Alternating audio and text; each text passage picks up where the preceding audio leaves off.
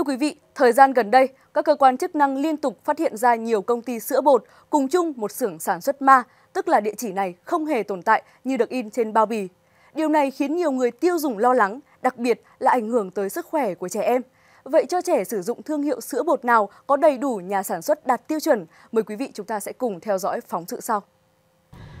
Sữa đóng vai trò quan trọng trong sự phát triển của trẻ nhỏ, giúp trẻ phát triển thể lực, trí óc, kích thích trí thông minh. Quan trọng nhất, sữa là nguồn dinh dưỡng tự nhiên và an toàn. Chính vì vậy, ngay từ những năm tháng đầu đời của trẻ, các ông bố bà mẹ đã chú trọng việc lựa chọn loại sữa nào phù hợp, an toàn nhất cho các con của mình.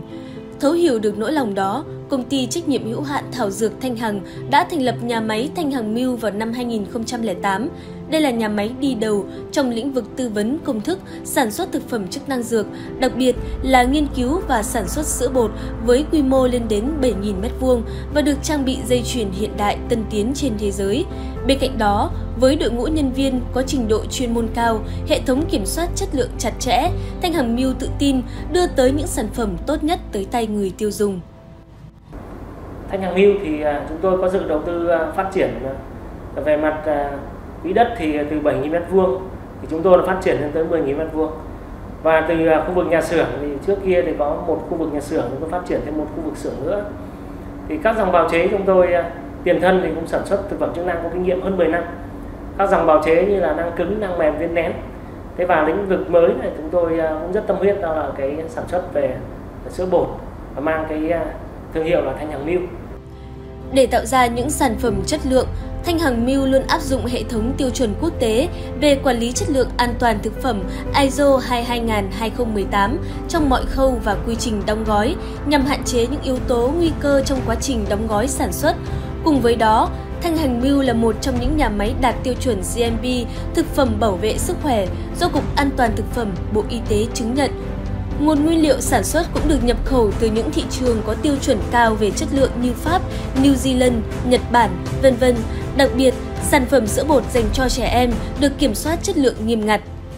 Trước hết thì tôi thấy quy mô nhà máy Thăng Hà Mưu rất lớn, máy móc hiện đại, các quy trình sản xuất sạch sẽ và được cấp giấy tờ chứng nhận vệ sinh an toàn thực phẩm. Thêm vào đó thì đội ngũ nhân viên và các chuyên gia của Thanh Hàng Mưu rất tận tâm, dày dặn kinh nghiệm, có số lượng nhân viên lớn làm việc rất chuyên nghiệp, đáp ứng được à, tiến độ hợp đồng bên tôi nên là tôi đã quyết định chọn Thanh Hằng Miu để hợp tác. Cùng với sự dẫn dắt tận tâm của những chuyên gia đầu ngành, trong những năm qua, Thanh Hằng Miu đã hợp tác với nhiều nhãn hàng lớn như Naturemas, Delta Sun, Benmax, mang trong mình sứ mệnh đặc biệt phục vụ sức khỏe cộng đồng. Thanh Hằng Miu luôn nỗ lực nghiên cứu, sản xuất và cam kết những sản phẩm có giá trị cao nhất bằng tất cả kiến thức, tình yêu và chất lượng cộng đồng một nhà máy sản xuất. Theo tôi ấy, thì dù là sản xuất à, các cái loại thực phẩm bảo vệ sức khỏe nói chung cũng như là à, sản xuất thuốc hoặc là sản xuất thực phẩm chức năng hay là sản xuất sữa thì cần phải đạt được bốn cái yếu tố. Thứ nhất ấy là đầu tiên là cái nhà máy đấy phải đạt được các tiêu chí mà cơ quan chức năng người ta đưa ra. Thứ hai nữa là cái đội ngũ của nhân viên thực hiện các cái sản xuất này. Thì đương nhiên là tôi nói chi tiết thêm ở trong cái thành phần của cái đạt được cái của các cơ quan chức năng ấy, thì đội ngũ phải là đủ trình độ để mà sản xuất ra các cái, cái loại thực phẩm bảo vệ sức khỏe trong đó có cái sản xuất sữa. Thứ ba nữa là về mặt trang thiết bị máy móc thì phải đủ tiêu chuẩn.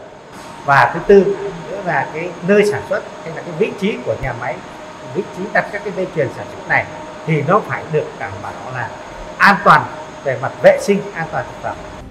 Đến nay, sau 12 năm hoạt động, trong đó có đến 8 năm nghiên cứu và sản xuất sữa bột, Thanh Hằng Milk đã và đang ngày càng phát triển lớn mạnh, không chỉ bởi chất lượng trong từng khâu sản xuất sản phẩm, mà còn là sự cố gắng của ban lãnh đạo có trình độ chuyên môn cao, đội ngũ nhân viên dày dặn kinh nghiệm trong lĩnh vực sản xuất, cùng với sự tư vấn chuyên môn của các chuyên gia hàng đầu trong lĩnh vực y học, dược phẩm, dinh dưỡng để luôn đảm bảo dinh dưỡng và bảo vệ sức khỏe của người tiêu dùng.